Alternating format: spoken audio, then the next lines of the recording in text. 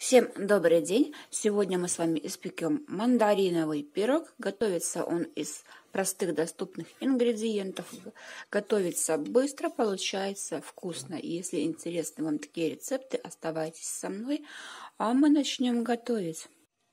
Для данного пирога я взяла 3 яйца, 3 крупных мандарины, если они мелкие, можно взять 4-5 более, 12 э, грамм разрыхлителя, пакетик ванильного сахара, он у меня 20 грамм, 100 грамм обычного сахара, 100 миллилитров молока, 300 грамм муки и 70 грамм сливочного масла. Я его предварительно растоплю.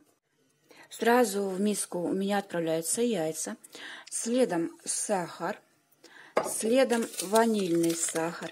По сути, мы смешиваем все ингредиенты одновременно. Дальше разрыхлитель.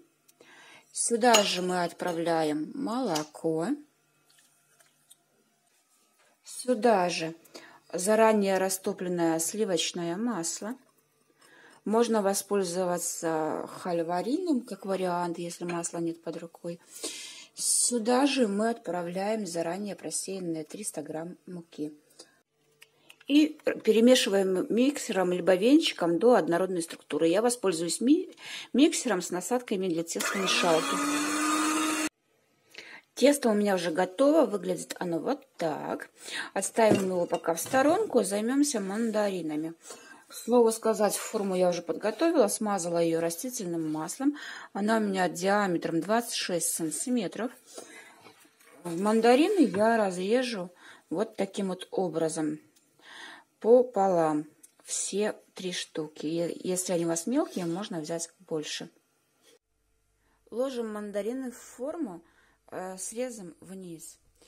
Заранее можно э, форму э, покрыть пергаментной бумагой, обсыпать сахаром, либо жеманкой, если у вас форма прилипает. И уже на мандарины поверх я ложу тесто форму в саму.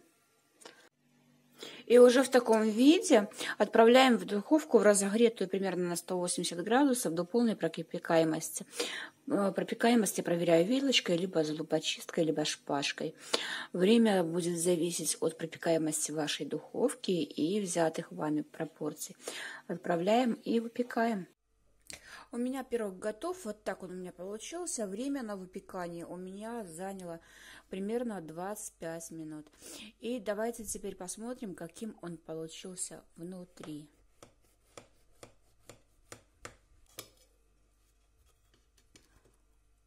Вот такой он получается, поднимается довольно неплохо. Мандарины у нас с этой стороны, да, вот видны, как вы можете видеть. По желанию можно мандарин положить побольше. У меня их было три штучки.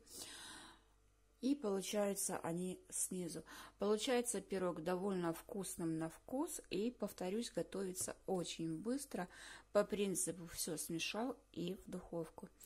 Если вам понравилась идея и способ приготовления, конечно, поставьте мне пальчик вверх. И не забывайте подписаться на канал. Будет еще много интересных полезных видео для вас.